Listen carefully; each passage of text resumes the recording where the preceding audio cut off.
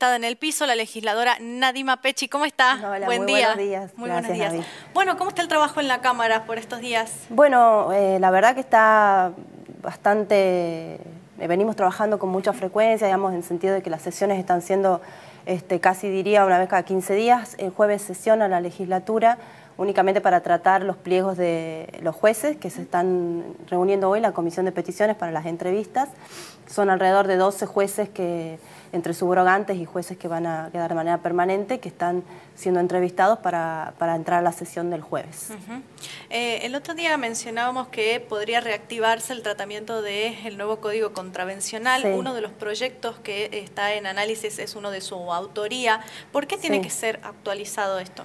Bueno, eh, en realidad eh, el código que tenemos es un código absolutamente nuevo que ha trabajado mi equipo mucho tiempo en hacerlo, porque es un, código de cero.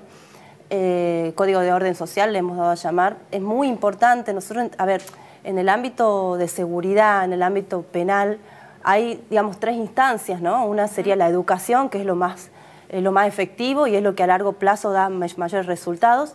Y la última ratio que es la sanción penal. Y en el medio tenemos el esquema contravencional que está absolutamente dejado de lado porque fue declarada inconstitucional nuestra ley, eh, una ley del año setenta y pico, es decir, una ley muy vieja, que tiene un esquema de... Em, procedimental en donde la quien acusa es el mismo que el que juzga, entonces fue declarada inconstitucional y por eso está eh, inaplicable prácticamente, es decir, no se, no se utiliza ese espacio de la contravención que es muy importante porque es preventivo, porque nosotros en ese momento en donde todavía no se ha producido el delito podemos educar eh, a través de la ley y podemos ocupar este espacio para que la sociedad empiece a tratar de entender que debemos convivir de una manera pacífica, ¿no? que hay situaciones que no llegan a ser delito pero que sí generan disturbios y generan eh, situaciones problemáticas que pueden evitarse desde la contravención. Eh, básicamente incluye faltas menores en la convivencia digo, social. Exactamente, bueno, el código que planteo obviamente que siempre todas las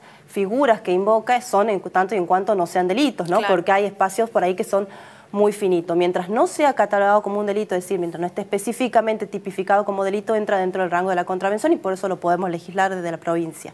Y hay muchas situaciones eh, que se pueden evitar, situaciones de peligrosidad que se pueden evitar si se actúa desde el ámbito contravencional. Ahora, eh, ¿se espera que la discusión tenga algunas polémicas o que sea algo tranquilo? Yo realmente espero que lo podamos discutir, ¿no? Hay muchas propuestas que están eh, eh, sobre la mesa y creo que es algo que, como te digo, muy importante para el tema de la seguridad, porque uno cuando piensa en esta materia piensa directamente en la parte penal, pero antes hay otras instancias que son más profundas, que son más efectivas, porque cuando hablamos de la sanción penal es porque el delito ya se ha producido. Entonces, tenemos instancias anteriores que son de eh, mayor efectividad a largo plazo. ¿no? Yo por ahí veo que muchas veces se busca el impacto inmediato con las medidas que se buscan este, para solucionar el problema de seguridad, pero hay, hay una cuestión de fondo que subyace y que es muy importante resolver, que es por un lado la cuestión de educación y por otro lado la educación que se hace a través de la ley con este código de orden social que propongo, porque eso es lo que se busca, un orden social, que aprendamos a convivir y respetar al otro en sus diferencias y en sus espacios también. ¿no? Eh, en general, ¿cómo es la convivencia en la